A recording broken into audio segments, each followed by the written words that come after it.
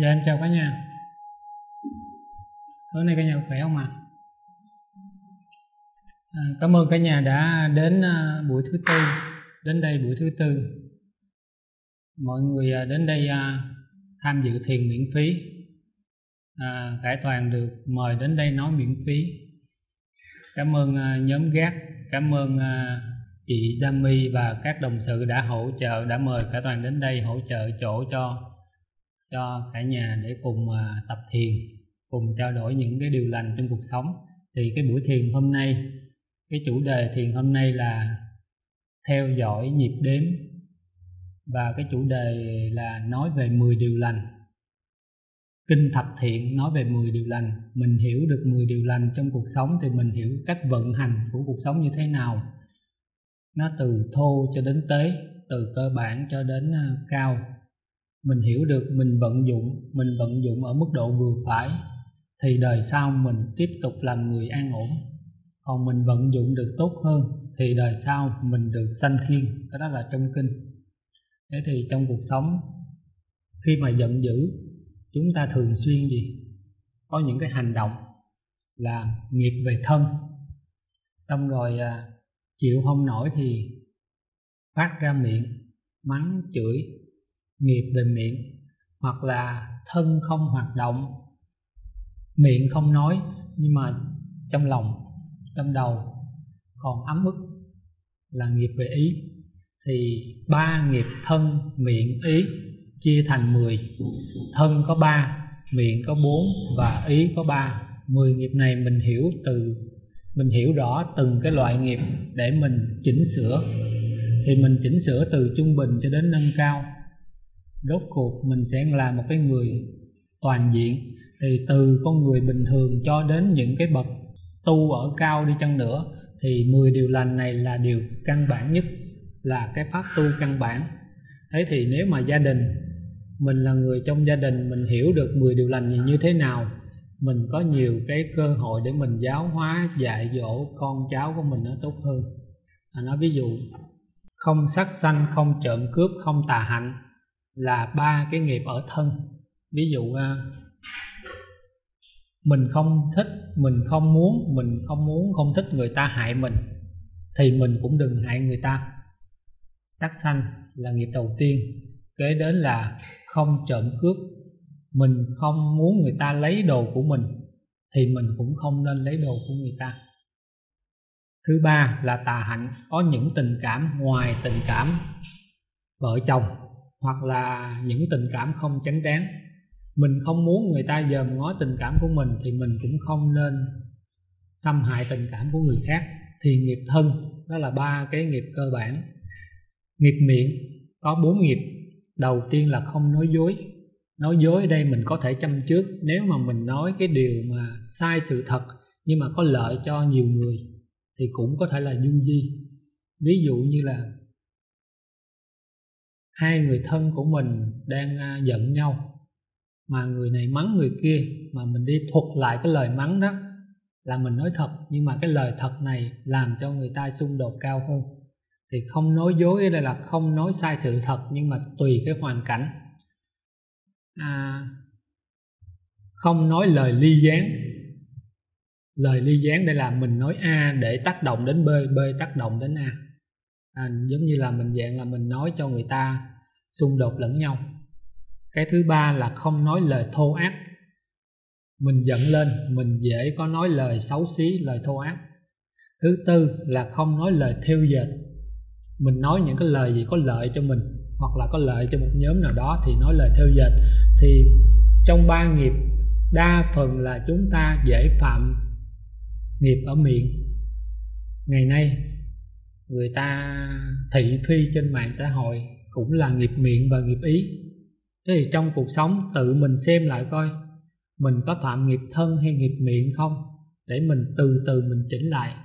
Thì nếu mà cho dù các anh chị hỏi mọi người, từ người cơ bản văn phòng đến người đại tri thức đi chăng nữa, rất khó ai có thể nói là thế nào là làm lành, thế nào là làm ác không ai giải thích được một cách trọn vẹn, tại vì không đọc kinh, không hiểu lý của kinh. Quay trở lại là mình phải hiểu lý và mình thực hành.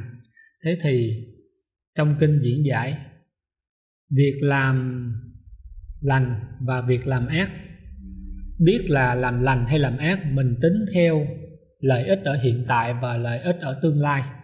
Ví dụ, đứa con của mình nó không chịu học hành, nó hư quá đi thì ông bà thấy ba mẹ đánh nó, ông bà chiều nó, binh nó.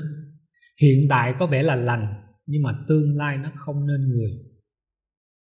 Thế thì việc làm lành, việc làm ác dựa vào lợi ích ở tương lai. Hiện tại có thiệt thòi, nhưng mà tương lai được lợi ích, đó là lành.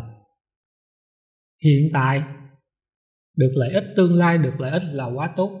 Hiện tại mình thiệt thòi mà người ta được lợi ích cũng là lành. Đầu tiên việc làm lành việc làm ác không phải xét về à, còn phải xét về hoàn cảnh nơi chốn thời gian.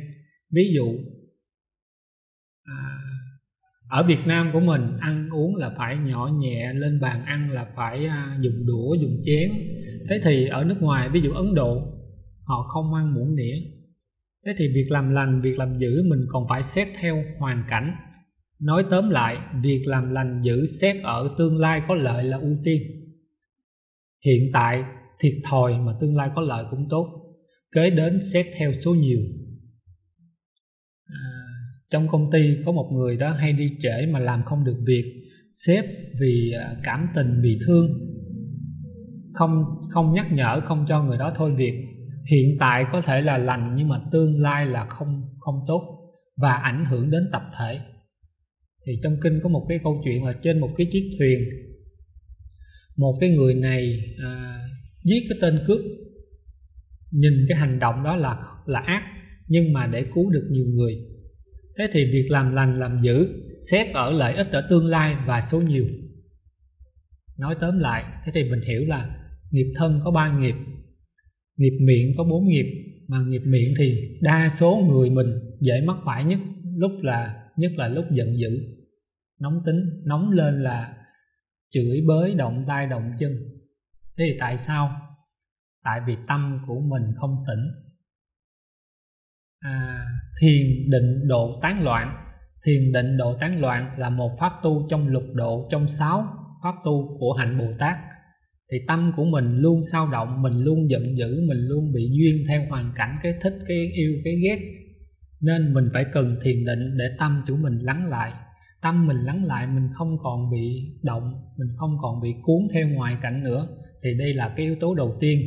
Thì tâm mình tỉnh rồi, mình mới thấy được rõ là 10 cái điều lành đó, mình đang phạm cái điều gì. Thì trong cái trong cái buổi thiền thứ ba là cái buổi thiền về à, quán nhân duyên. Khi tâm mình tịnh rồi, mình có thể quán 10 điều lành của mình. Thân có ba, không à, sát sanh không trộm cướp không tà hạnh miệng có bốn không nói dối không nói à, uh, hai lưỡi không nói lời thô ác không nói uh, theo dệt. Tiếp theo là ý không tham không sân không si. Mình không muốn người khác tham lam thì mình cũng không nên tham lam. Sân giận tham mà không được là mình giận. Tham ở đây nó có nhiều kiểu tham. Tham tiền tham việc tham giành quyền à, yêu thương con cái cũng là tham. Trong gia đình nếu mà một cái đứa trẻ mà không có đủ cha mẹ ông bà thiếu tình thương. Nhưng mà một đứa trẻ mà đầy đủ nội ngoại mà một đứa trẻ mà con cháu đầu lòng đi nội ngoại đều dành yêu thương cũng là tham. Thì à, tham không được thì sân lên. Sân cuối cùng là si mê. Mình si mê cái này là của mình cái kia là của mình. Thì tất cả bắt đầu từ ý từ ý nghiệp của mình mà nó sinh ra hành động và lời nói.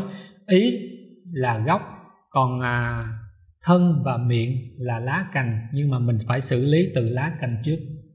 Thì trong cuộc sống có những người nói là cả đời tôi không làm gì sai. À, tại vì họ chưa hiểu lý của kinh. Cả đời của mình mình có chắc rằng mình không cố ý giết hại con gì hay chưa? Cố tình hay vô ý? Mình không hiểu cái lý lẽ của kinh thì mình à, không có biết rằng cả đời của mình mình đã vô tình sát hại rất là nhiều. Tất cả những gì có động đậy là có linh tánh.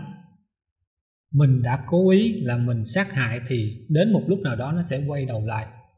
Ví dụ mình giết một con kiến một con muỗi nhưng mà bất đắc dĩ trong phòng mình có con nít á mình đuổi hoài không được nên mình phải giết mà mình giết với cái tâm gì? À, ví dụ là tao giết cho mày chết. Nó khác với mình giết xong mình niệm một câu phật hay là mình xin lỗi nó mình không cố ý. Hai cái tâm này khác nhau. Thì bây giờ á, một cái hành động mà miệng và thân không kèm theo ý thì có thể được xem là lỗi. Một cái hành động mà thân, miệng và cộng thêm cái ý của mình nữa là tội. Ví dụ một đứa bé nó vô tình nó ném đồ vô mình. À nó biết được nó nói con con con xin lỗi cô, xin lỗi chú. Mình dễ dàng mình cho qua nhưng mà lần thứ hai, lần thứ ba, mình thấy nó nhìn mình mà nó ném vô mình, thì nó kèm theo cái ý. Thì trong cuộc sống cũng vậy, nếu mà mình giết hại một con vật nào đó, hoặc là mình vô tình mình lấy mà nó kèm theo ý, thì cái đó là ba nghiệp đó, thì ba nghiệp không tốt. Thì cái việc không tốt hay tốt vẫn xét về lợi ích của người, lợi ích của tương lai. Thì mình hiểu được cái lý lẽ này. Đây là cải toàn chỉ giải thích sơ thôi quyến thiện anh chị là mình tìm cái kinh thập thiện mà cái bộ của thầy thích thanh từ giảng giải đó là về cái à, về cái sách.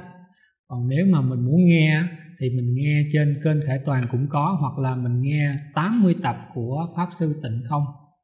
Thập Thiện Nghiệp Đạo là 10 điều lành. Thế thì mình giữ được 10 điều lành này cuộc sống của mình được an ổn. Dạ mời anh chị lên xích xích ngồi xích, xích lên tí xíu ạ à. Cái 10 điều lành này mình hiểu trọn nghĩa 10 điều lành. Nếu mà mình giữ được 10 điều lành này Không sát sanh, không trộm cướp, không tà hạnh Không nói dối, không nói hai lưỡi Không nói lời thô ác, không nói lời theo dệt Không tham, không sân, không si Thì mình giữ được Thì mình sẽ có một cuộc sống an ổn. Rồi bây giờ Nếu mà mình muốn có phước Không sát sanh mình còn phải phóng sanh. Phóng sanh. Có nghĩa là từ con lớn đến con nhỏ tùy. Nếu mà mình bất đắc dĩ mà mình phải à, đuổi nó đi, mình phải giết nó, thì có đó là cái tâm của mình không muốn. Tại Toàn à, cách đây à, hơn một năm, nhà có một cái ổ mối đặt trên mạng về một cái chai mối. Mình nói nó luôn, các ông bà mối, các bồ tát mối, khoảng 4 năm hôm nữa tôi sẽ xịt cái đám này. Các ông bà ở đâu về chỗ đó? Qua đến hôm thứ sáu không còn một con mối. Mình á, mình giao tiếp qua âm thanh, qua lời nói, qua ngôn ngữ thì con vật giao tiếp qua cái cảm, cái từ trường. Mình ở đây đang ở một chiều không gian của mình. TV là có nhiều chiều không gian thì mình hiểu là nhiều cõi khác nhau thì cái cách giao tiếp hoàn toàn có thể là một hoặc nhiều, không như nhau. Thế thì khi mà mình cố tình thì nó khác, còn mình vô tình nó khác nên có những cái người mà xây nhà xây nhà chắc chắn anh sẽ có động thổ. Động thổ thì dù vô tình hay cố ý, anh sẽ tác hại đến rất nhiều sinh linh dưới cái mảnh đất đó. Nên phải trước 3 đến 7 hôm mình báo trước. Mình báo trước cho giờ đi. Bây giờ nó có một cái thầy đó, có một cái người thầy của thầy toàn ở à, bà địa nói là, muốn cúng ông bà hay là hay là mời gì đó thì mình phải xin trước một hai ngày. Ví dụ như mình ở đây mình có mặt ở đây 20 người mình có mặt ở đây thì mình cũng phải sắp xếp thời gian mình hẹn chứ đâu nói là hôm nay con cúng ông bà về ăn. Không có về ngay được phải xin phép. À, thì trong cuộc sống mình hiểu được cái lý lẽ cái vận hành và tâm của mình thiện thì mọi sự việc mà mình diễn ra mình làm á nó không có không có rắc rối thì đầu tiên là không phóng sanh mà mình xin lỗi không sát sanh mà mình còn phải phóng sanh. Nhưng mà ưu tiên ưu tiên giúp đỡ cho người trước rồi giúp đỡ cho vật. Giúp đỡ cho người ở đây là phóng sanh độ sanh có nghĩa là mình giúp những cái người còn sống. À, cho tiền ăn xin cho đồ ăn cho thức uống. À, vào bệnh viện thanh toán viện phí. Như khả toàn vẫn thường xuyên đủ mọi người vào bệnh viện như đồng một thanh toán viện phí. Đó là một cái cách để à, mình giúp đỡ. Không trộm không trộm cướp mà còn bố thí. Không tà hạnh là chánh hạnh. Không nói dối mà nói lời ngay thẳng. Không à, nói theo dệt mà phải nói lời tốt đẹp. Không nói lời thô ác, không nói hai lời. Thế thì lời nói của mình không phô trương nhưng mà nó ái ngữ có nghĩa là nó nó tròn, nó đẹp, nó đầy, giúp cho người ta. Ví dụ ờ, con mình bệnh, mình mang ly nước, ly thuốc đến mình nói, uống cho mau hết bệnh. Nó khác với là mình nói là thuốc này là thuốc tốt của bác sĩ giỏi. Con ráng uống đi vài hôm nữa nó hết bệnh. Thế thì lời nói lời nói lành giúp cho cái người nghe có thêm năng lượng. Và bản thân khi mà mình ở đó, mình nghĩ lành, mình nói lành á, là cái nơi mình sống tự tạo cái năng lượng cái từ trường lành ở đó rồi. Về phần ý à, không tham không sân không si. Tham lam trong lục độ của bồ tát là bố thí trị sang tham. Tại mình tham mình không dám bố thí. Bây giờ á mình tham việc mình tham tiền cũng là tham. Mình tham quyền được à, nuôi hay là được cho con cháu cái này cái kia cũng là tham. Nhưng mà khi mà nhiều người dành với mình mình không có được mình cảm thấy là mình phiền não đau khổ thì mình nên bố thí. Bố thí trị sang tham. À, sân giận. Từ bi. Tại sao là mình sân giận? Tại vì mình tham mình không có được nên mình mới giận. Thì làm sao để trị được cơn giận của mình? Nó cũng bắt nguồn từ cái việc mà thiền định thiền định thì mình không tán loạn mình không tán loạn thì mình sẽ giảm được tối đa cái nguy cơ cái sự giận dữ của mình. Si mê si mê là do mình chưa thấy lẽ thật.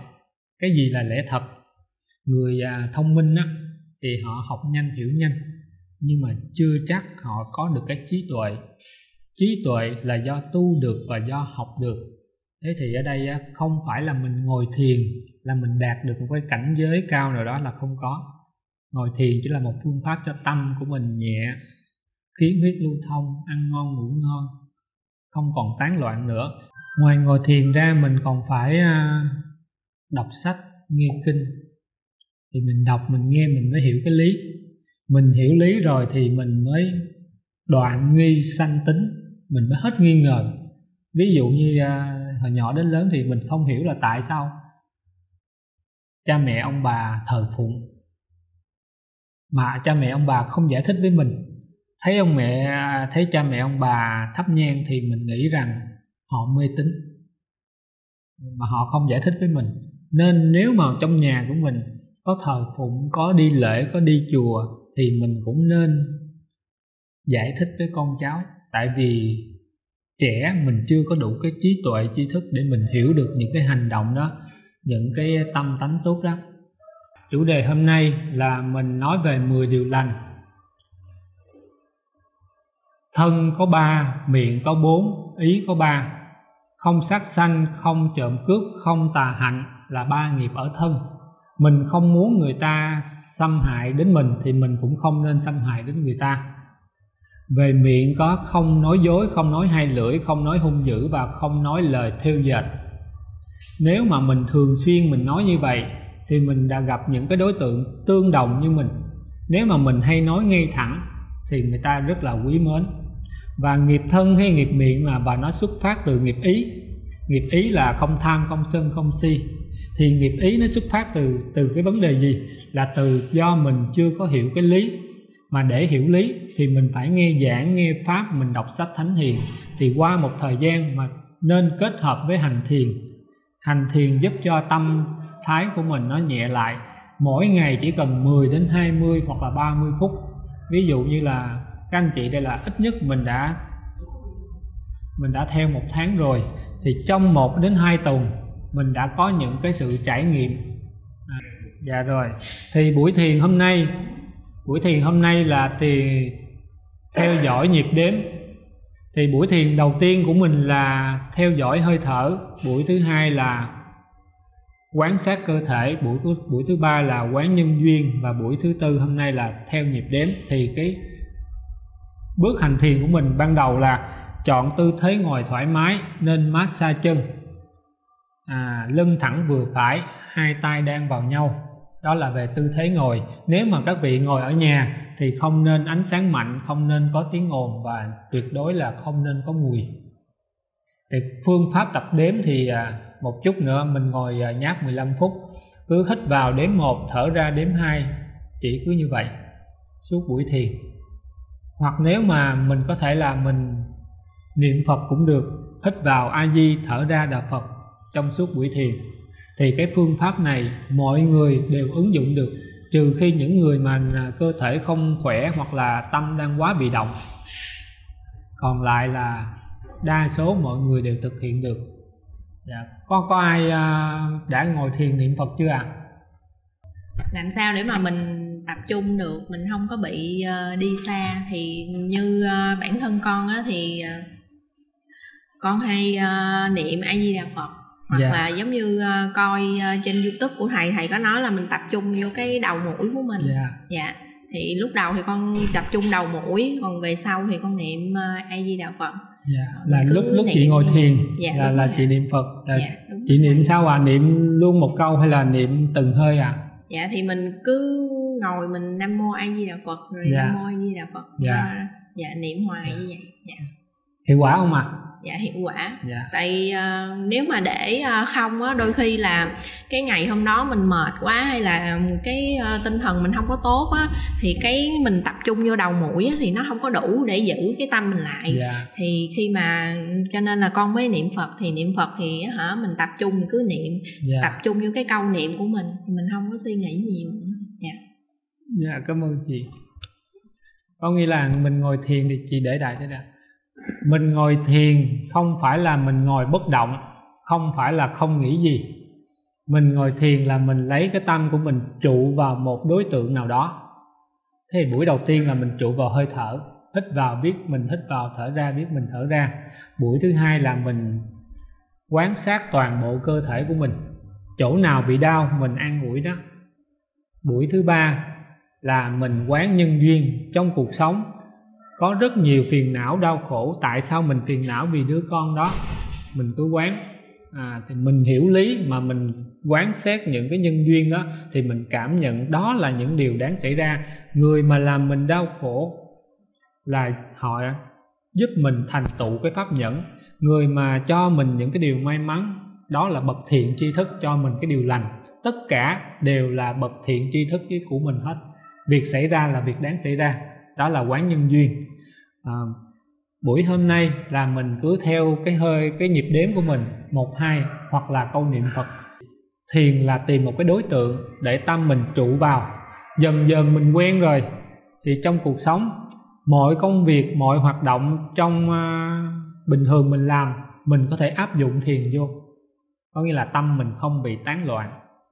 Ví dụ à, công việc mình bị hối, mình biết rồi, mình gấp gáp, mình bị hối là mình làm hư việc. Thế thì mình dùng thiền vào cái công việc đó là mình chậm lại một chút xíu.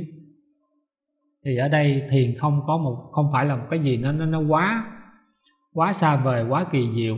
Mình áp dụng vào cuộc sống nó một cách nó rất là nhẹ nhàng. Nên những buổi ngồi thiền, ở đây là đến hướng dẫn tập thiền toàn được mời đến hướng dẫn tập thiền. Thì chia sẻ, tự mỗi người phải về nhà, phải tự tập hoặc là mình có thể mình siêng, mình đi vô chùa, mình ngồi cũng được, nhưng mà mình nên theo một thời khóa thêm một thời gian, một giờ nhất định. 10 phút 15 phút 20 phút, tất cả đều được. Không quan trọng là ngồi ít ngồi ít, ngồi dài, mà quan trọng là phải thường xuyên. Thì có anh chị nào muốn chia sẻ thêm không ạ? à?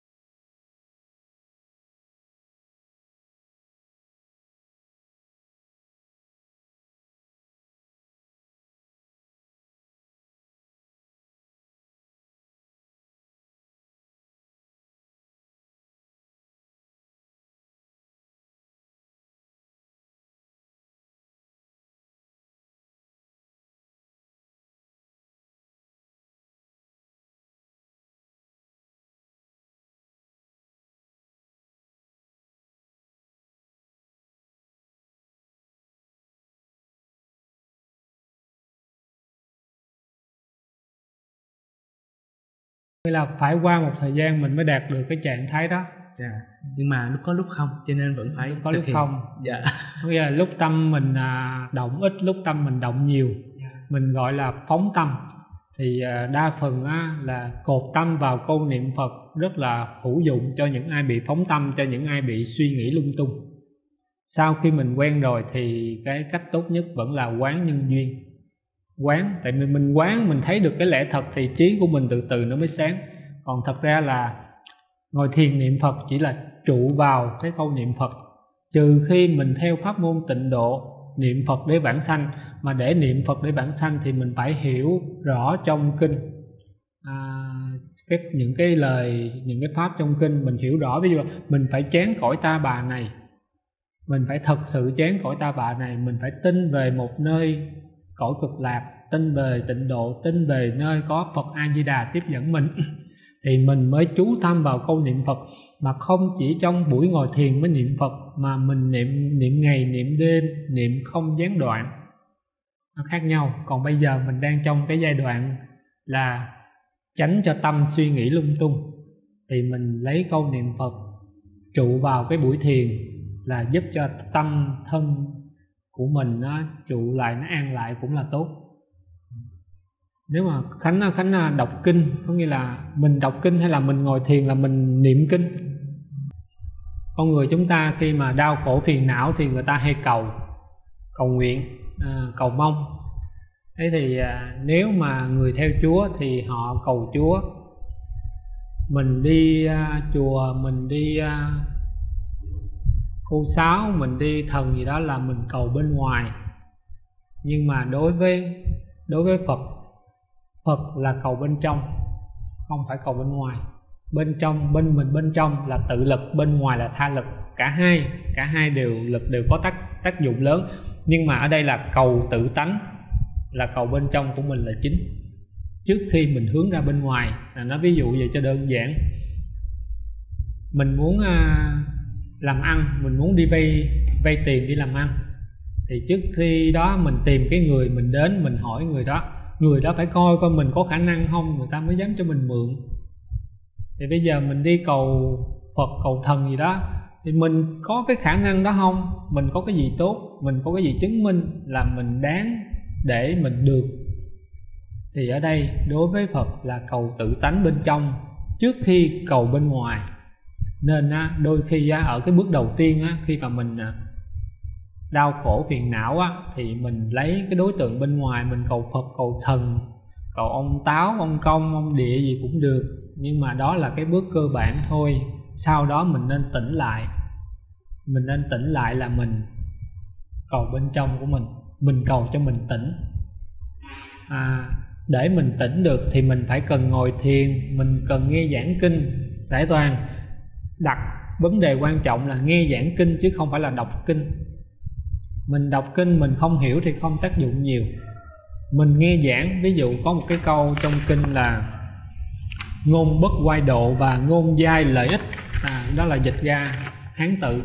Mình nghe ngôn bất quay độ là sao? Là cái lời nói không trái với cái pháp độ. Ở Việt Nam của mình cái luật lệ như thế nào cái chủ trương như thế nào và cái hoàn cảnh cái văn hóa của cái miền Nam của mình như thế nào thì cái lời nói của mình không trái với cái pháp độ đó. Hoặc là ngôn giai lợi ích có nghĩa là lời nói của mình phải mang lại lợi ích cho mọi người. Chứ à, mình không nói chuyện phím mình không nói chuyện trên trời dưới đất. Mình phải nghe mình hiểu cái lời đó thì tâm của mình mới sáng mình không có bị mê. Thì đa số cuộc sống của mình mình khổ là mình cầu. À, đi à, rằm đi chùa là cầu ví dụ là gần à, gần lễ vu lan. Đi chùa cầu gì? Cầu an. À, cầu muốn có con thì cầu tự chùa ngọc hoàng thì cầu tự. À, cầu tình duyên mình cầu rất là nhiều nhưng mà mình phải xem lại coi mình có xứng đáng hay không mình có cái khả năng đó hay không để người khác hoặc là ơn trên hoặc là thần phật gì đó cho mình. Thì ở đây mình hiểu là nếu mà mình theo phật mình mong muốn được à, khai cái trí ở pháp phật thì mình cầu bên trong trước là mình có được một cái năng lượng năng lực. Sau đó mình phải nghe giảng kinh mình mới hiểu cái lý. Nói theo cái à, uh, thiền theo theo cái à, thầy sư viên minh á thì mình ngồi thiền á là mình dẹp tan hết những cái lý tưởng ảo để mình quay trở lại mình chấp nhận hiện tại. Hiện tại của mình, gia cảnh như thế nào, thu nhập như thế nào, mình đang có những cái hoàn cảnh tốt và chưa tốt nào, mình phải chấp nhận đó. Chứ mình đừng có đứng núi này trong núi nọ. Còn nói theo pháp sư tịnh không là mình ngồi thiền để mình dẹp đi vọng tưởng, để mình tìm lại chân tâm. Là vẫn là cái tâm bên trong, tự tánh là của mình, cái chân tâm cũng là nó. Cái tâm cái bổn tánh là cái tánh trước khi mình sinh ra, trước khi mình có mặt mũi. Còn cái tập tánh là do môi trường xã hội mà mình tập. Hai cái này mà lớn lên, hai cái này mà nó cộng hưởng với nhau mà nó lớn lớn lên khoảng 3 đến 50 tuổi mà mình không hiểu, không có dành khả năng thời gian tu tập á, thì nó rất là sâu dày. Ví dụ mình không có muốn làm cái điều làm cái người thân của mình buồn, nhưng mà do cái hành động tư tưởng, lời nói của mình nó luôn thô lỗ cộc cằn. Thì ờ, mình nghĩ rằng á, mình sẽ sửa, nhưng mà đa số nói nói với các vị luôn, nếu mà mình nghĩ rằng á, mình muốn sửa một cái tật xấu nào đó, mình cứ nghĩ trong đầu thôi, không bao giờ có kết quả. Không bao giờ, tại vì mình không tìm phương pháp mà mình không thực hành. Bây giờ nó là tôi sẽ không nói những cái lời khó nghe nữa. Tôi sẽ không nóng tính nữa. Đây chỉ là lời hứa suông chỉ là khẩu hiệu suông. Thế mình nói là ví dụ một cái bạn trai nói là tôi sẽ cố gắng à, vào phòng gym tập có sáu múi. Nói thôi. Nhưng mà không có vô phòng tập không tập mỗi ngày. Thế thì ở đây thiền là một phương pháp à, cho mình tâm nhẹ lại nghe giảng kinh, đọc sách thánh thiền cho mình hiểu được cái lý. Hai cái này, một con người muốn thay đổi cái tâm tánh của mình để tốt hơn. Nếu mà cái người mà lợi căn, không là cái căn tánh tốt, và siêng năng gọi là tinh tấn, thì mất khoảng 3 đến 5 năm để thay đổi. À, thay đổi cái sắc diện của mình, thay đổi cái từ trường của mình 3 đến 5 năm. Còn chậm hơn là 7 đến 10 năm à, trên à, đọc trên mạng thì à, có một cái bài đó là cụ già 90 tuổi à, đầu tư 4 tỷ vào một cái à, một cái quỹ nào đó mất trắng 4 tỷ. 90 tuổi rồi mà còn đau khổ vì danh lợi. Thế thì mình nói đây mình đừng có để quá trễ để mình nhận ra tất cả những gì mình có chỉ là tạm. À, nếu mà anh chị tìm hiểu về kinh bát nhã tâm kinh à, cũng là rất là thú vị. Tánh không trong bát nhã không phải là không có mà là nó có giả tạm có. Nói ví dụ là khi mà mình bị đau tay mình nghĩ rằng á là mình bị đứt tay mình chảy máu mình đau tay mình nghĩ là mình không có băng cá nhân á là mình đau chết luôn á. Là do cái tâm của mình nó đang trú vào cái tay bị đau. Mình mà nghe con mình có vấn đề gì hoặc là mình nhận một cái tin nhắn thật là nhiều tiền thì cái tâm của mình nó chuyển từ đối tượng này qua đối tượng khác. Chẳng phải cái đau này là đau giả. Cái đau này nó chỉ là đau tạm. Thì trong cuộc sống cũng vậy. Khi mà mình phiền não, nó cũng là tạm có. Khi mà mình hạnh phúc, nó cũng là tạm có. Hạnh phúc hay là vui sướng, vừa hoại là vừa qua là cái khổ nó tới. À, khi mà có một cái điều gì đó mình khoe mình khoe lên mạng là tôi có xe tôi có con tôi có nhà. Mình càng khoe thì sao? Cái cái vui đó nó nó hoại nhanh lắm. Và mình trở về thực tại. Và nếu mà chẳng may á nó mất có sanh là sẽ có diệt mất á thì mình thật sự đau khổ. Nên đối với cái phương pháp cải toàn á lạc hoặc là cân bằng đến đây à, được mời đến đây mở lòng với mọi người không mong cầu điều gì hết. Không không có lợi lộc về à, về tài về danh không có một lợi lộc gì ngoài cái sự chia sẻ ngoài cái năng lượng lành ra.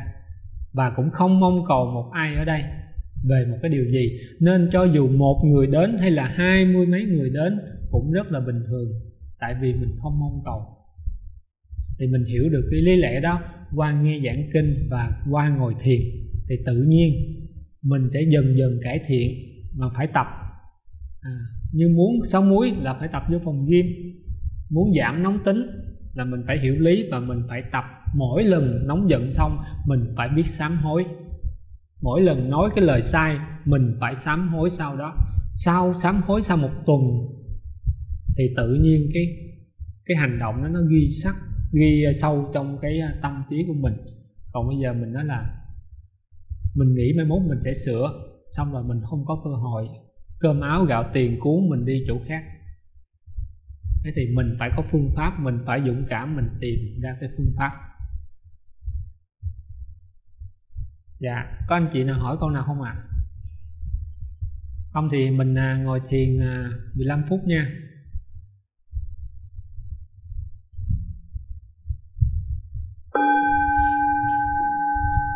Dạ mình à, mình à, giãn chân ra mình massage mình bóp nhẹ hai cái bàn chân của mình hai cái chân. Cho khí huyết phần trên nó phần chân nó lưu thông. Ai mà mỏi lưng ngồi dựa vào tường cũng được dựa lưng không dựa đầu. Rồi phương pháp hôm nay của mình sử dụng là phương pháp theo dõi hơi đếm mình cứ hít vào đếm một, thở ra đếm hai trong suốt buổi thiền. Còn những ai muốn niệm phật thì cứ trụ tâm vào câu niệm phật, hít vào a di, thở ra đà phật. Rồi bây giờ mình ngồi xếp bằng, gác chân kéo chân hoặc là gác một chân lên cũng được.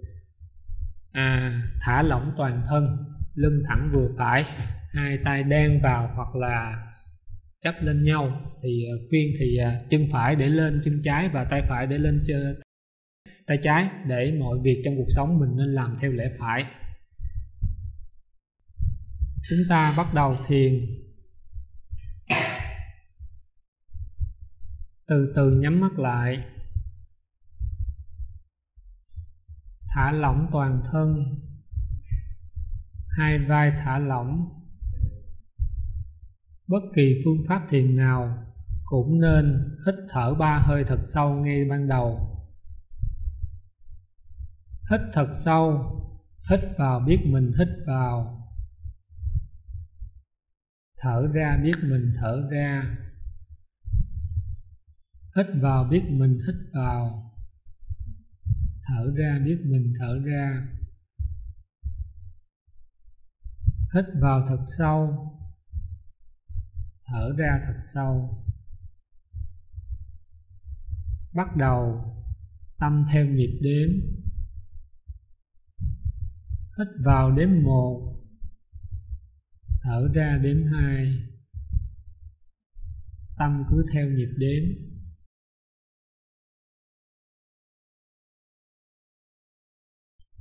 Chúng ta bắt đầu xả thiền. Hãy hít thật sâu. Thở ra hết hơi hít vào thật sâu. Thở ra hết hơi. Hít vào thật sâu. Thở ra hết hơi. Gương mặt giãn nở. Thư thái. An nhiên. Nghĩ về một điều tốt đẹp. Và từ từ mở mắt ra.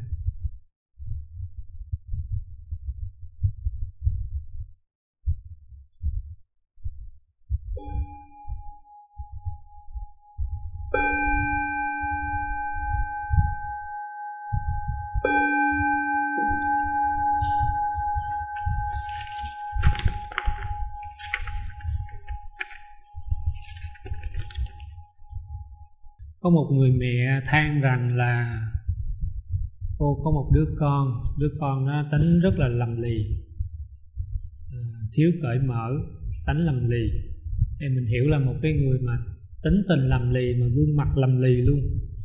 Thì à, cái sắc diện và cái từ trường người đó tạo ra đó khiến cho người khác e sợ không thích lại gần mình thời nay đa phần là mình làm về giao tiếp, dịch vụ, thì mình nên cởi mở.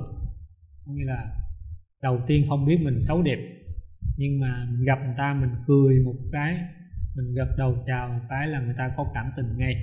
Thế thì một cái người mẹ nói là con của cô tính rất là lầm lì, không có cởi mở. Thế thì điều này do cái gì? Điều này do cái nghiệp trong cái mệnh của cái người đó điều này do cái sự giáo dưỡng khi còn ở tuổi vị thành niên của cái, ờ, cái anh chàng đó. Hai cái đó nhân quả. Nghiệp của mình phước của mình có đời này là do nghiệp ở đời trước. Và đời này ở đây trong giai đoạn thiếu niên mình thừa hưởng những cái sự giáo dưỡng của cha mẹ của nhà trường của xã hội tạo nên cho mình một cái con người như đó. Thế thì đôi khi người mẹ chưa hiểu lý á người mẹ thắc mắc là tại sao con mình cứ như vậy? À, bất lực quá thì đôi khi than trời trách người. Nhưng mà khi hiểu lý á, thì nó là mệnh của người đó một phần là như vậy. Và do cái cách mình nuôi dạy và do cái môi trường tác động thì một người mà trước 30 tuổi mà những cái tập khí của mình chưa thay đổi được vẫn còn cơ hội nhưng mà sau 4 50 tuổi, những cái gì, những cái tập trước đó của mình mà không tốt á, ví dụ là chưa nói gì hết trơn á, là mình nhảy vô miệng người khác mình nói. Và mình luôn nghĩ xấu về người khác. Thế thì cái tai tai hại nhất ở đây á, là từ cái ý. Mình tu 10 nghiệp lành này nè, là mình rén thân của mình, đừng có làm ác. Miệng của mình, đừng nói lời ác. Đó là cái bước cơ bản. Nâng cao lên thêm một bước nữa là ý của mình, đừng nghĩ bất kỳ người nào mà xấu ác cả. Tất cả là duyên phận là nhân duyên. Không có xấu ác do mình nhìn nhận thôi chứ ở đây là không có xấu ác. Xấu ác là do mình nghĩ thôi. Đến một cái lúc nào đó là mình không nên nghĩ bất kỳ hành động. Cho dù người ta tổn hại đến mình đi chăng nữa. Ví dụ Phật pháp thì luôn có cái pháp đối trị à, đồng nghiệp đồng nghiệp của mình nói xấu mình à, tranh giành quyền với mình. Và trước mặt nói này sau lưng nói nói khác. Thế thì mình nói là tại sao họ làm như vậy với mình mà không làm với người khác? Là mình với họ là duyên nợ với nhau. Những cái người mà luôn có cái hành động tranh giành á là những cái người chưa hiểu lý lẽ. Nếu mà mình thông cảm được cho họ là mình thông cảm được cho mình. Thế thì mình luôn nghĩ tốt về người khác là mình nuôi cái hạt giống tốt trong tâm của mình mình luôn nghĩ xấu về người khác là mình mang rác từ bên ngoài vô tâm của mình. Thì để làm được cái điều đó mình cần cái tâm thanh tịnh. Thì đây là trong ví dụ là trong uh, sáu cái uh, sáu pháp tu của bồ tát đó là bố thí trị sang tham. Mình tham mình không dám bố thí. Thì mình tập bố thí thì mình bớt tham. Bố thí nó không có tiền làm sao bố thí. Bố thí không phải là tiền hành động lời nói nụ cười ánh mắt cử chỉ chỗ ngồi à, tiền là một trong nhiều điều kiện bố thí thôi. Thế thì mình tham tham cái gì? Mình khổ cái gì thì mình bố thí cái đó. Khổ vì con là tại sao mình muốn nó theo ý của mình mình muốn nó như thế này như thế kia mà mình không hiểu nó.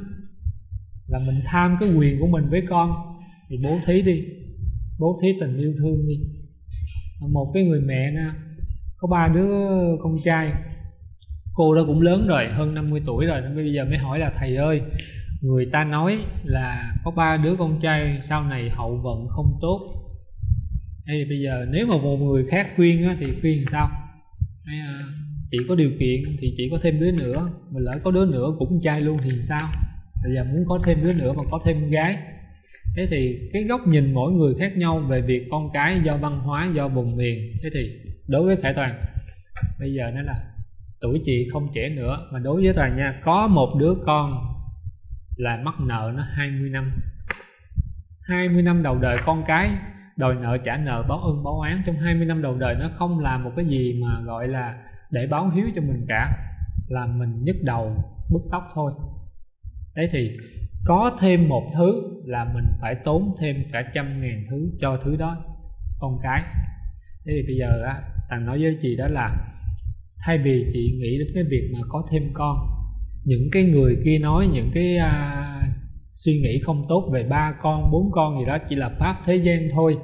Bây giờ chị chỉ chị cái mẹo này chị sẽ có thêm rất là nhiều con. Chọn một nơi trung tâm thiện nguyện rồi đó chị thường xuyên phát tâm giúp đỡ nơi đó là chị có thêm rất nhiều người con mà không phải rắc rối về vấn đề gì khác. Thế thì ở đây khi mà mình tham là mình khổ. Mình phải biết được cái điều mà mình khổ thì mình mới tìm được cái cái phương pháp để mình đối trị cái khổ đó. Thì mình nói là bố thí trị sanh tham. Trì giới, độ phá giới. Phá giới là mình không giữ giới. Ví dụ là đi đường mình không theo theo giao thông. À, ở nhà mình không theo cái phép tắc ở nhà thì mình phải giữ cho mình có một cái lễ nghi có một cái à, giới ở đây. Nói mình tạm nói là những cái lễ nghi những cái phép tắc. À, nhẫn nhục độ sân giận. Mình sân giận do mình thiếu cái nhẫn. Thì trong sáu cái pháp này trong cuộc đời của mỗi người tất cả mình muốn thành tựu á thì bố thí và nhẫn nhục là hai cái pháp hàng đầu lớn nhất. Thế thì mình nói là tại sao mình giận? Do mình nhìn không được. À, người ta đang diễn cho mình xem. Mình lao vào mình giận mình lao vào mình đấu khẩu thì mình thiếu cái sự nhẫn nhục sáng suốt. Là nói ví dụ đồng nghiệp trong công ty mình thích đồng nghiệp A mình không thích đồng nghiệp B. À, mình mình thích anh này mình không thích anh này. Thế thì bây giờ á hai người này xung đột với nhau. Mà ngay trong cuộc sống đi hai người trong gia đình của mình xung đột với nhau hoặc là trong công ty hai người xung đột với nhau. Họ đang ở một cái sân khấu khác. Mình từ xa mình nhào lên mình nói là mình thích người này mà. Cái cảm tình của mình do cái do cái thức thứ bảy á cái thức uh, mặt nghe thức á nó nói là người này đúng người này sai. Cái mình binh. À, thì chuyện gì sẽ xảy ra? Trong cuộc sống mọi người đều gặp hết. Thế thì cái phương pháp của khai tàng là đứng ở ngoài làm khán giả. Cho dù con cái của mình luôn nó choảng nhau luôn chưa đổ máu cũng đừng có xen vô. Chưa đổ máu cũng đừng xen vô là tại sao? Là tại vì tất cả những từ trường xung đột á là từ trường tiêu cực mình ở ngoài, mình lại gần là mình bị khuấy chung một từ trường rồi. Giống như mình phải khuấy chung lò lên nồi nước lèo rồi.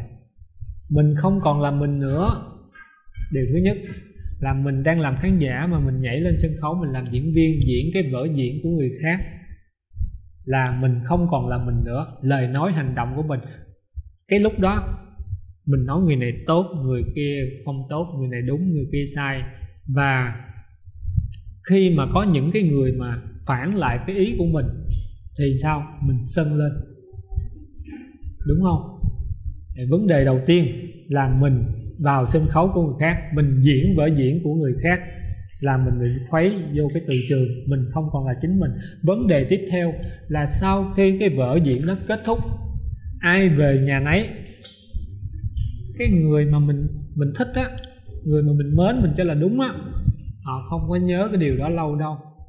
Cơm áo gạo tiền cuốn họ đi. Còn cái người mà mình cho là sai á, nghiêm cái điều đó vô lòng, tự nhiên cái thêm mỗi một cái sự oán giận. Thế thay vì mình đứng ở ngoài mình làm khán giả, sau khi cái sự xung đột nó xong đi, mình lại mình nói vài cái lời tốt, nó khác hoàn toàn. Thì ở đây mình nên trong cuộc đời của mình tại sao mình biết là tại sao mà mình à, dễ sân giận mình không nhẫn nhẫn, nhẫn nhịn được là mình chưa hiểu được cái lý. Mình hiểu được cái lý rồi. Ví dụ à, ai ở đây cũng có mẹ ít nhất mẹ la mẹ mắng mẹ chửi mình. Đôi khi mẹ giận mẹ chọi đồ luôn. Mình không hiểu. Mẹ thương mẹ mới làm vậy nhưng mà đôi khi cái tình thương của mẹ hư. À, biểu lộ hơi quá. Nếu mà mình hiểu rồi, mình sẽ thông cảm, còn mình không hiểu thì mình sẽ giận mẹ.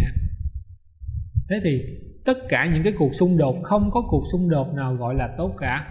Thế thì trong kinh có một cái câu chuyện là ông à, khấu chuẩn hồi xưa ổng rất là ham chơi. Đến một cái hôm á là mẹ ông chịu hết nổi rồi. Lấy cái cân á, chọi ổng trúng cái chân bị chảy máu từ đó á, cái ổng chăm lo ổng học hành sau này ổng thành tài rồi. Mẹ ổng mất ổng nhìn lại cái dấu thẹo cái chân á ổng mới nhớ là hồi xưa mẹ ổng ác với ổng như vậy. Ác hồi xưa nhưng mà bây giờ ổng mới nên người. Thế thì bây giờ mới cảm nhận được mới hiểu được còn hồi xưa là không hiểu.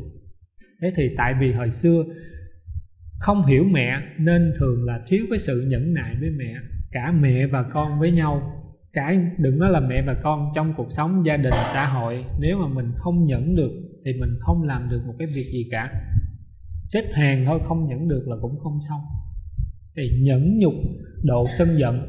Mình mà sân giận lên một lần là mình có thể thiêu rụi toàn bộ công đức cả một đời của mình. Có một cái câu là một que diêm, một một cái cây tạo ra được cả triệu que diêm, nhưng mà một que diêm là đốt cháy cả một khu rừng. Thế thì mình đã tốn công, mình làm cho mình tốt hơn qua từng ngày, nhưng mà một lần sân giận của mình là tiêu hủy hết mọi cái công lao của mình trước kia. Nên để không sân giận thì bắt buộc mình phải có thiền, bắt buộc mình phải hiểu lý để mình nhẫn. Người ta mắng mình là mình nợ người ta người ta mình vay 10 lời người ta mắng và 10 lời. Bây giờ mình trả hết 10 lời mình vẫn còn nghe người ta mắng nữa. Thì mình tạo nghiệp lành. Lời là lời của người. À, còn nhận hay không là do mình. Mắng nhiều miệng chẳng thơm tho. Lòng mang oán giận đâu còn bình an. À, đó là do người. Thế thì bây giờ nhẫn nhục độ sân giận thì mình phải hiểu là mình phải tập cái hạnh nhẫn nhục cái người mà làm cho mình đau khổ, nói lời không hay, họ là giúp mình có được cái sự thành tựu nhẫn nhục. Tinh tấn độ giải đãi. Tinh tấn độ giải đãi có là mình siêng năng, mình độ lười biếng. Thế thì bây giờ á, có những người mới ờ, vô học bài mới vô học được năm 10 phút cái ờ, buồn ngủ. Mình ở đây nè, mình làm việc nè mới làm việc tí xíu rồi cái điện thoại nó gì Facebook, YouTube, TikTok, nó tinh tinh tinh tinh tinh. Làm mình gì? Mất siêng năng. Thì cái việc này tùy vào cái sự quyết tâm của mỗi người. Mình chọn một cái phương tiện mình khéo léo sao cho mình luôn siêng năng. Dù tài giỏi gấp mấy, mà không thường xuyên, không siêng năng, không tinh tấn, cũng không đạt được kết quả. Trí tuệ độ ngu si à, có nghĩa là làm sao mà để mình không mê lầm. Mình phải học mình phải đọc mình phải nghe thì cái phương pháp thay đổi à, chuyển nghiệp của hai hàng rất là đơn giản. Thì cái phương pháp đầu tiên là mình phải có hành thiền hành thiền để tâm của mình nó không tán loạn. Cái thứ hai là gặp thiện tri thức đọc sách thánh thiền và nghe giảng kinh. Chắc chắn sau 3 tháng, sau 6 tháng, sau 9 tháng sắc diện trên mặt của mình nó thay đổi nhưng mà vận khí của mình nó chưa thay đổi rõ rệt trong trong một năm đầu cái à, cái sự may mắn cái từ trường của mình nó thay đổi dần dần thôi. Nhưng mà sau một năm đầu đến năm thứ hai nó thay đổi rất là nhiều. Thế thì bây giờ mình muốn chọn con đường gì? Mình muốn chọn chuyến xe gì? Mình muốn à, con cái của mình nên người thì mình phải thành tựu chính mình. Mình phải làm gương mình phải dạy nó. Giáo dục nhà trường à, giáo dục xã hội không quan trọng bằng giáo dục gia đình, mà giáo dục gia đình lệ thuộc một phần vào giáo dục tôn giáo. Thì mình muốn nó thành tựu, mình muốn nó đạt được những cái gì tốt đẹp thì mình phải thành tựu mình. Còn mình muốn năm 10 năm sau mình có được một cái công việc gì đó, mình có được một cái ước mơ cuộc sống như thế nào đó, thì mình cũng phải bắt đầu từ bây giờ nhờ ví dụ những anh chị đến đây trên hai tuần sắc diện đa phần mọi người đều rất là tốt. Tại vì mình đang tìm cái phương pháp làm lành trên cái cuộc sống của mình. Thì những cái gì mình nghe mình đọc mình học đa phần mình chọn lựa cái à, cái kênh lành không? À, người mà không thích xe cộ đi ngang cái cửa hàng xe cộ không bị hút vô. Nghiệp lực là cái nghiệp là thói quen hành động nó có một cái lực mỗi người có nghiệp lực. Phụ nữ đi ngang cái shop thời trang bị mấy cái túi sách mấy cái à, cái cái đầm cái váy nó hút vô. À, web lướt facebook bị cái quảng cáo nó hút vô. Thế thì mỗi người có có những cái lực nghiệp lực mà. Thì mình hiểu là có cái được có cái không được. À, cái được mà trong khả năng thì mình còn gán gán mà cái nào mà mình nói thôi cái này không có hợp thì mình phải tìm cách mình cắt đứt nó. Thì mình nói là trí tuệ độ ngu si mà mình có trí tuệ thì mình phải qua thiền định, mình phải qua đọc sách, mình phải qua nghe kinh. Dần dần, chắc chắn rằng sau sau ờ, gần một năm thì sắc thái mình thay đổi và sau năm thứ hai thì cuộc sống của mình thay đổi rất là nhiều. Mà sự thay đổi này do chính mình do chính mình tự mà. Mình vẫn có tha lực là cầu bên ngoài nhưng mà chính mình cầu bên trong mình mình tự thúc đẩy mình là chính. Nên vẫn cần hai còn nói là một mình mình làm tất cả là cũng là không có. Tất cả không có một vật gì vô thường vô ngã niết bàn không có một vật gì mà đứng độc lập mà sống được hết. Nó luôn nương vào cái khác cái bàn. À, trong trong trong kinh giải thích à, tánh không á cái gì là cái bàn? Cái chân đâu phải là cái bàn cái mặt đâu phải là cái bàn tấm khăn này đâu phải là cái bàn. Nhưng mà ráp lại là một hình tướng thì người ta tạm gọi nó là cái bàn. Thì mình hiểu được cái cách vận hành của cuộc sống và mình hiểu được cái à, cái tính cách của mình. Mình chọn cái con đường chọn cái chuyến xe để mình tu sửa cho mình tốt hơn. À, chưa nói đến à, cái vấn đề là à, mình muốn tăng phước báo như thế nào thế thì mình khổ cái gì? Mình phải tập mình bố thí cái đó. Dần dần mình sẽ mau hết đó. khổ vì tiền khổ vì con khổ vì à, bệnh à, khổ vì à, tình cảm. À, phước mình không có nên mình khổ. Bây giờ phước mình không có mình phải bố thí. Bố thí xong mình phải tập bố thí. Tập à, đang hỏi mưa nhiều người bây giờ ví dụ là khuyến thiện cho người ta bố thí chỉ cho người ta cách làm bố thí bây giờ tất cả mọi người đây ai mà chưa từng bố thí bây giờ toàn ví dụ toàn hỏi là mình cho mình cho một cái à, đơn vị từ thiện mình đến trực tiếp mình cho 10 triệu được không? À, 10 triệu không được. Một triệu. Một triệu cho được không? Một triệu cho không được thì cho 100 ngàn. 100 ngàn được không? Không cho 100 ngàn thì từ thì cho 10 ngàn. Và cho kèm thêm tấm lòng và lời nói đó là cách tập bố thí. Đừng có nghĩ rằng sau này mình có gia tài nhiều, gia sản lớn mình mới bố thí. Tại vì bình thường mình không có tập, thì đến lúc đó mình tiếc mình tiếc mình không có cho đâu, thì mình vẫn phải khổ. Giống như mình nghĩ sao? Cụ bà 90 tuổi rồi, để dành tiền mà đầu tư mong muốn lãi nữa, bị lừa. Rồi, bây giờ đến tuổi đó rồi mà còn bị khổ vì cái cái giả của cái tiền. Mình nằm xuống ngủ mình không mang theo được gì cả, mà mình càng lớn tuổi mà mình càng chấp giờ vào danh lợi tiền bạc con cái, mình khổ là do mình chứ không do ai. Một cái lời khai thị trong cái à, video dài của pháp sư tịnh không đó là, sau 60 tuổi, cho dù mình sống nữa hoặc là mình mất đi, thì con cái của mình á, nó vẫn tiếp tục sự nghiệp của nó. Không có gì dừng lại được. Thế thì tại sao mình vì nó, mình mình không chỉ vì con cái mình mà mình vì con của con mình luôn. Mình đau khổ, mình lo lắng, mình phiền não là do mình. Tại sao mình không bỏ xuống tất cả để mình niệm ông phật của mình, để mình thành tựu? Tại vì khi mà mình già mà mình mất đi á, đến lúc mà mình lâm chung á, con cái không giúp được, tài sản không giúp được, danh lợi không giúp được, không ai giúp được mình chỉ có ông Phật của mình đến tiếp dẫn mình, thành tựu cho mình, nhiếp thọ mình, đi về thế giới bên kia. Nếu muốn được điều đó thì bây giờ mình phải hiểu cái lý và mình phải có sự chuẩn bị. Còn bây giờ mình không chuẩn bị thì tám, chín mươi tuổi mình có nhiều tiền, mình cũng nghĩ là mình sẽ đầu tư nữa. Cái này là do mình nhìn nhận nó nên mình mới nói là để có trí tuệ, mình độ đi cái sự mê lầm ngu si của mình thì mình phải có trí tuệ là mình phải thực hành. Mình phải đọc, mình phải nghe, mình phải gặp để mình hiểu được cái lý. Mà mình hiểu lý rồi, cuộc sống của mình nó nhẹ nhàng. Nhẹ nhàng thì sao? Không có phiền não. Hồi xưa, cãi với người ta, giận người ta, bây giờ cũng cãi nhưng mà hết giận rồi. Mình giận là mình thiệt, người ta đâu có thiệt. Dạ anh chị nào có muốn hỏi gì không à?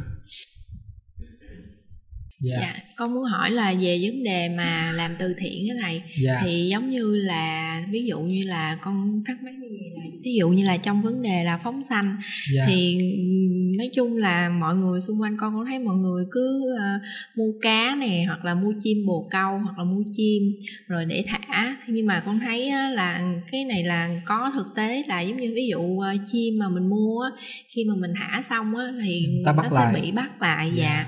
tức là cái con chim đó người ta sẽ uh, bẻ cái cánh của nó để cho nó không có bay đi dạ. xa được dạ yeah thì có phải cái hành động đó của mình á là mình mang ý tốt nhưng mà mình vô tình mình tiếp tay cho những cái người đó hành hạ động vật? Thêm một cái nữa là ví dụ như là thả cá, ví dụ như là ngày xưa thì có cái con mà con rùa mắt đỏ xong rồi cái mọi người cũng không biết mọi người mua thả rất là nhiều. Nhưng mà tập tính của cái con rùa mắt đỏ này là nó sẽ giống như nó ăn tạp hay làm sao thầy giống như kiểu là nó phá hủy cái môi trường sống ở dưới nước ở cái khu vực đó. Mà thấy vẫn rất là nhiều người thả thì thành ra là giống như cái cái hành động của mình là nó nó làm hại tới những cái, cái con vật khác. Rồi thêm nữa là có một câu chuyện là cái anh đó anh chia sẻ trên mạng là là ảnh uh, thực tế luôn là có một cái con khỉ thì nó từ nhỏ là nó đã được nuôi nhốt rồi xong rồi có người mua nó về mua nó về để thả nó vô rừng. Thì uh, cái cái hai tuần sau á, thì phát hiện là tức là khi mà nó vô rừng á, nó không hòa nhập được với những cái con khỉ sống ở trong rừng thì nó bị những cái con khỉ đó đánh mù mắt. Dạ thì xong rồi sau đó là phải ờ, tức là bên hội cứu trợ động vật là phải mang con khỉ đó về để chữa trị cho nó rồi về việc à, dạ đó là câu hỏi của con trong vấn đề phóng xạ. Còn về việc bố từ thiện thì giống như à, bây giờ có rất là nhiều người tức là họ à, đi từ thiện nhưng mà con thấy có những người là sẽ lợi dụng lòng từ thiện á thì như đợt vừa rồi có uh, trên báo uh, có đăng là công an ngoài Hà Nội uh, thì giống như là bắt những cái người mà ngồi ở ngoài đường để mà xin tiền hoặc là xin thức ăn á. Thật ra thì họ có một số người thực ra họ rất là giàu có tới hai ba miếng đất gì đó luôn nhưng mà họ vẫn ngồi để giống như gọi là lợi dụng cái lòng tốt. Hoặc là có những người á, hiện tại con thấy á, là thanh niên uh, còn sức lao động vẫn rất là khỏe mạnh mà lại uh, ngồi ở lề đường để ăn xin rồi à, có những cái người gọi là họ còn ẩm theo những đứa con nít thực sự là có những đứa con nít còn rất là nhỏ mà còn bú sữa luôn. Ừ, thì con thấy những cái hình ảnh đó con rất là rất là thương nhưng mà không biết là làm như thế nào để mà là cho tốt nhất đó thầy. Có nghĩa là để cho họ đừng có lợi dụng trẻ em nữa lợi dụng lòng thương cảm của người khác nữa. Dạ. Dạ cảm ơn chị. Tóm tắt ý là đầu tiên là mình à, phóng sanh mà mình không tìm hiểu thì mình có thể là tổn hại đến sinh linh. Thì cải toàn không có chuyên sâu trong cái vấn đề đó. Nếu mà mình à, tìm hiểu việc gì mình làm nó sẽ tròn hơn. Còn nếu mà mình à, mình đặt mình đặt cho người ta mua, mình đặt cho người ta bắt, hoặc là mình biết rằng á, cái nơi này chuyên bắt, thì cái việc phóng sanh nó không có tròn. Có nghĩa là có lòng nhưng mà chưa có vẹn, trọn trọn vẹn cái ý, thì cái việc đó không mang lại cái điều hoàn toàn tốt đẹp. Nên mình muốn phóng sanh, mình phải tìm hiểu xem. Thay vì vì thay vì mình đi chợ mình mua, mình thấy con cá nó còn sống, là mình mua nó, mình về mình thả vào cái môi trường nó có thể sống được. À mình làm đúng việc và mình làm từ cái tâm. Nó kết hợp cái hai thì cái tâm ý của mình nó trọn vẹn hơn. Còn cái việc mà người ta đi sinh người ta ăn xin làm từ thiện cái việc này rất là khó nói nhưng mà mình cứ xác nhận đi. Mình có tìm hiểu mình đã tìm hiểu và mình làm bằng cái tâm lượng rộng lớn của mình. Thì cho dù mình làm sai đi chăng nữa không vấn đề gì cả. Pháp sư tịnh không diễn giải rằng giả dụ mình cho 10 triệu mà mình sau khi mình cho trước khi mình cho mình biết là cái nơi này á sẽ bị ABCD sẽ bị uh, ăn xén, cắt cắt bớt. Mình cũng cũng phát tâm mình cho. Nếu mình không cho thì không có tiền đến với những người cần giúp. Còn cái người vụ lợi là họ tạo cái nghiệp của họ, coi như mình bố thí đi. Thì mình làm cái việc từ thiện bằng cái tâm lượng của mình. Nếu mà ai cũng nghĩ là cái việc từ thiện nè, không có đến tay ai đâu, không có ai làm hết, thì những người muốn được giúp không bao giờ được giúp cả. Nên vẫn là đầu tiên mình phải tìm hiểu cái nơi đó. Ví dụ, muốn giúp một nơi nào đó, thì đầu tiên á, mình phải đến trực tiếp nơi đó, mình xem hoàn cảnh, mình nói chuyện với lại cái người chủ quản ở đó. Mình coi cái tâm tư và cái cái tình cảm của họ như thế nào là mình cảm được. Cái này là mình đến trực tiếp. Còn nếu mà mình thông qua gián tiếp thì mình phải tin tưởng một cái người nào đó nhưng mà mình cứ phát tâm phát tâm với cái tâm lượng của mình đừng nghi ngờ gì cả. Trong cái việc mà làm thiện nguyện á, thì mình nên ưu tiên người hơn là động vật. Tại vì trong thời điểm trong thời buổi hiện tại mình mà phóng sanh rất là khó để để uh, những con vật mà mình mua đúng và nó đến đúng nơi đúng môi trường nó sống. Ngay khi mua cá mà thả ra bờ kênh chưa chắc nó sống được trong cái dòng kênh đó nữa nên cái việc đầu tiên là cái người ta đi ăn xin người ta có nhà có cửa có gì đó mình đừng quan tâm. Mình bố thí cái tấm lòng của mình. Mình biết thì không sao còn mình không biết lỡ mình không biết mình thấy người ta đáng thương tội nghiệp mình cứ phát tâm đi. Tại mình phát tâm mà cái số tiền mình bỏ ra nó nhỏ lắm cái lớn ở đây á, là cái tâm lượng của mình. Mình phát cái tâm của mình Người bỏ 10 triệu, người bỏ 50, người bỏ 100 triệu Số tiền có thể hơn nhiều nhưng mà không lớn bằng cái tâm. Thì mình phát tâm là mình bố thí cái tấm lòng của mình Đó là cái chính. Cho tiền thì dễ, cho tâm mới khó. Nên à, người ta mình thấy là người ta có đi ăn xin mà người ta có nhà, có đất, có gì đó là do người khác kể lại thôi. Mình đâu có biết chắc. Mà cho dù người ta làm như vậy là do nghiệp của họ. Đừng có nghĩ xấu. Cái bước cái bước tu tập ở đây về cái à, 10 nghiệp á, là ý của mình á, đừng nghĩ xấu bất kỳ ai hết. Người ta làm không đúng lý, người ta làm không đúng cái việc là do người ta. Mình đừng lấy cái pháp của người ta cho vào cái tâm của mình nên làm việc thiện, việc tốt thì mình tìm hiểu trước.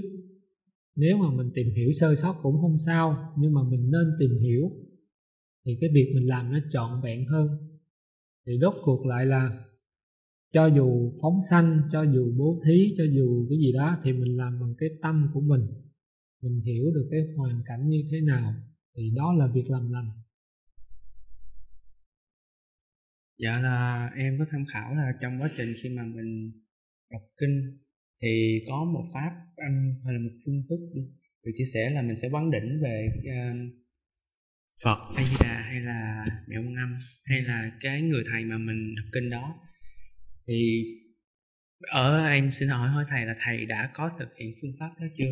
Và nếu mà có trong quá trình mình đọc kinh đó mình quán đỉnh về cái hình tướng đó thì liệu nó có tốt không thầy? À, vấn đề này à, cả Khải Toàn không trả lời uh, chi tiết cụ thể được tại vì à, Khải Toàn không có chuyên về đọc kinh.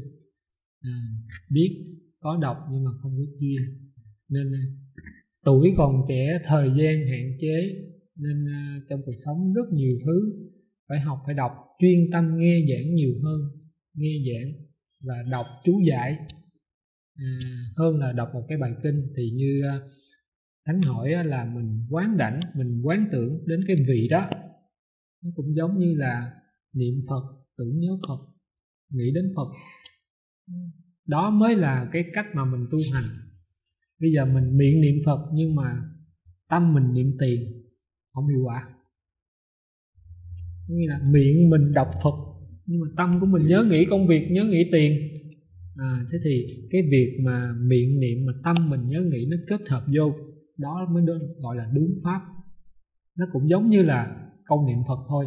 Cho dù mình đọc nguyên một bài kinh mình quán được cái cái ý nghĩa của cái bài kinh của cái câu kinh à, à, trong cái à, Maha Bát Nhã Ba La Mật Đa Tâm Kinh thì mình hiểu được mình là vị Bồ Tát là mình cảm nhận được cái thế giới ta bà này như thế nào. À, mình vừa đọc mình vừa quán mình vào cái nhân vật đó cái hoàn cảnh đó thì nó gọi là đúng pháp vẫn như là người chỉ đọc niệm Nam Mô Di Đà Phật mà tâm nghĩ tưởng đến Phật cũng tương ưng như vậy chứ không nhất thiết phải đọc nguyên một cái bài. Tâm mình cột chặt vào cái câu của mình, nhớ nghĩ thì nó đúng, còn nếu mà tâm mình ở đây mà, giống như là tâm mình đây mà hồi gì, mình ngồi đây mà hồn mình nơi khác thì nó không đúng. Nên ờ, bài ngắn, bài dài gì không quan trọng bằng cái lực mà mình dồn cái tâm ý của mình vào dạ rồi em cảm ơn cả nhà. Em xin uh, kết thúc uh, buổi thiền hôm nay. Uh, chúc cả nhà buổi tối uh, nhiều sức khỏe bạn lành. Dạ. hẹn tuần sau. À, dạ xin chào cả nhà. À, hiện tại gác đang thực hiện cái chương cái dự án sách và hoa. Sách và hoa. Dạ sách và hoa. Thì ở đây có nghĩa là à, gác có sẵn một số cái đầu sách. À, quý anh chị em có thể đến đây thưởng thức cà phê có thể đọc à, có thể lấy một quyển sách để đọc. Và nếu mà thích quyển sách đó có thể lấy về. À, à, rồi sau đó thì à, quý anh chị à, em có thể à, trao đổi lại một cái quyển sách khác của mình. Đã đọc qua hay là mình không cần tới nữa. Trao đổi sách nếu nếu không có sách để trao đổi cũng không sao có thể vẫn có thể lấy sách ở đây về nếu mà quý anh chị có những cái đầu sách à, muốn đóng góp để cho cái dành cho cái tủ sách phương xa mà sắp tới nữa uh, gác triển khai á thì quý anh chị có thể đem đến đây à, và nhận lại một cành hoa của của gác dạ yeah. à, đó chương trình dạ, khi khi nào mình tiến hành dạ đã đang đang thực đang hiện luôn rồi. Ở đằng đó có một số đầu sách rồi. Dạ. anh chị có thể tí nữa tham khảo thích sách nào cứ cứ nhận và đọc dạ. Dạ đó cả toàn đến một ăn một cái quán chay đó cơm chỉ có 25 ngàn thôi mà cái quán chay đó có hai cái thùng một cái thùng tiền và một cái thùng sắt thì mình có thể mình ứng dụng. Ừ. khánh cải toàn có thể tài trợ cho mình luôn. Thùng thùng sách đó là thùng thùng sách kinh. Tất cả những cái kinh uh, mỏng lắm kinh a di đà kinh nhật tụng kinh gì đó. Phát tâm cho người ta tìm hiểu kết duyên với kinh. À, mình có thể làm một cái thùng đó. À, còn cái thùng kế bên là cái cái thùng à, phóng xanh. Mình không biết cách người ta phóng như thế nào nhưng mà người, những người ở đó rất là thiện lành nên à, đôi khi mình cứ bỏ vô vài chục vài trăm gì thôi chứ mình không có quan tâm. Nhưng mà cái điều à, quý đây là cái tủ sách về kinh và nên mình có thể làm thêm về cái đó. À, còn cái chương trình mà mình đang làm vẫn rất là tốt. Nên mình có thể là khuyến khích phân theo. Làm cái gì mà mình tìm hiểu thì cái việc mình làm nó nó đi sâu nó trọn vẹn hơn. Mình phân theo ví dụ là văn học triết học tôn giáo. À, nếu mà mình có thể có một cái vài cái dòng tư vấn luôn. Nếu mà các bạn chưa bao giờ quan tâm đến tôn giáo thì các bạn nên đọc cái phần triết học. À cái người mà có tư tưởng về triết học rồi ví dụ là cách vận hành của trời của đất gì đó thì họ mới tiếp cận đến cái phần tôn giáo tâm linh dễ dàng hơn. À, mình nên có những cái khuyến thiện và mình nên ghi nhận. Thì cái cái việc này là cái việc là lành là tốt. Dạ. Yeah. yeah. con nghèo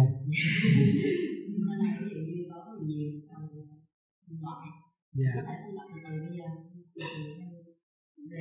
Dạ. Em dạ. Đi ra để làm trong phương xa trong phương xa cho các bé dạ. Dạ rồi, em cảm ơn. Dạ em cảm ơn. Em cảm ơn cả nhà.